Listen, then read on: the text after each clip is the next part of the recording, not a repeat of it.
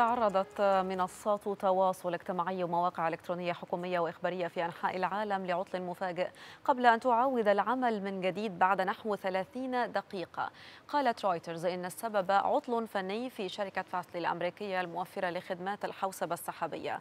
وأدرج موقع downdetector.com الذي يرصد أعطال الإنترنت مواقع ذات معدلات زيارة عالية منها ريديت وأمازون وسي إن إن وباي بال وسبوتيفاي ونيويورك تايمز ضمن المواقع التي واجهت مشكلات كما تعطل الموقع الرسمي للحكومة البريطانية وحدثت الأعطال بشكل وحدثت الأعطال بشكل متزامن ولكن عددا من المواقع عاد للعمل لاحقا.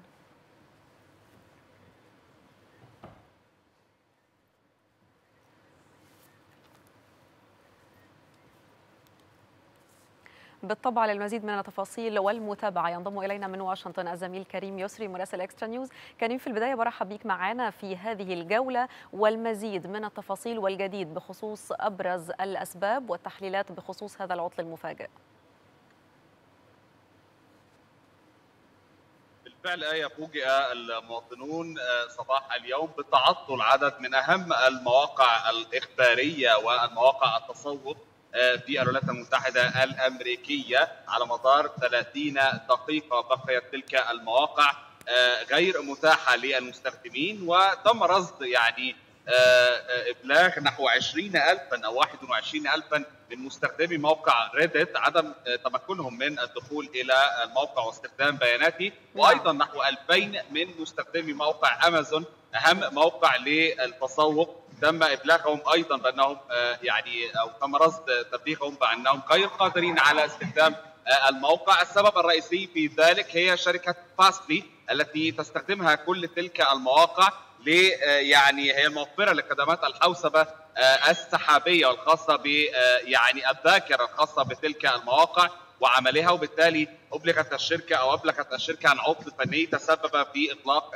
كل تلك المواقع. لكن بعد نحو 30 دقيقة تم حل المشكلة وعودة كل تلك المواقع مرة أخرى للعمل بشكل طبيعي خاصة وأن الولايات المتحدة تعيش أزمة من هجمات إلكترونية متلاحقة من شركات تعمل في روسيا ومن مخترقين إلكترونيين يعملون في روسيا. تسببت في ارتفاع سوق الغاز والبنزين في الساحل الشرقي للولايات المتحدة على مدار الأسبوعين الماضيين. وقبل ذلك كانت هناك هجمة إلكترونية سيبرانيه على شركة لتوليد الطاقة الكهربائية من الطاقة الشمسية. أيضا تسببت في توقف العمل بها. ناهيك عن مهاجمة عدد من الوزارات الأمريكية المواقع الإلكترونية الخاصة بها أو الإيميلات أو البريد الإلكتروني الخاص بها تسبب أيضا به عدد من المخترقين وبالتالي يعني المواطنون في الولايات المتحدة يعانون من تلك الأزمة. وربما هي واحدة من الأزمات التي ستطرح على طاولة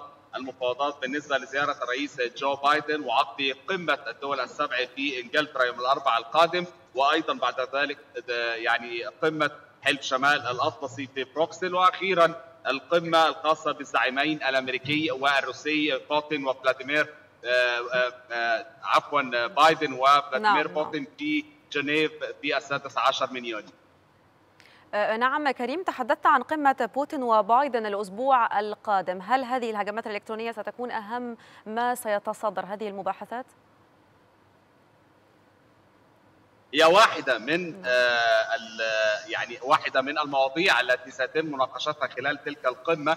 نتحدث عن أن هناك تحضيرات تجرى من خلال دول الاتحاد الأوروبي والولايات المتحدة الأمريكية ليواجه جو بايدن لأول مرة. فلاديمير بوتين وجها إلى وجه في المشكلات والمعوقات التي يعني تكدر السلم العام بالنسبة لدول الاتحاد الأوروبي. أبرزها مشكلة شبه جزيرة القرم الأوكرانية وأيضا تواجد عسكري مكثف روسي على الحدود الأوكرانية، أيضا هجمات إلكترونية السيبرانيه بالتأكيد ستكون حاضره على طاوله المفاوضات، أيضا ستكون هناك الاتهامات الخاصة بالتدخلات الروسية في الانتخابات الأمريكية. وأيضا ملفات الخاصة بالتهديد الصيني للاقتصاد والعسكرية الأمريكية. أيضا ستكون حاضره على طاوله المفاوضات بين فلاديمير بوتين وبين جو بايدن. بالتأكيد ونحن في انتظار هذه القمة. الزميل كريم يسري مراسل إكسترا نيوز من واشنطن. أنا بشكرك. شكرا جزيلا.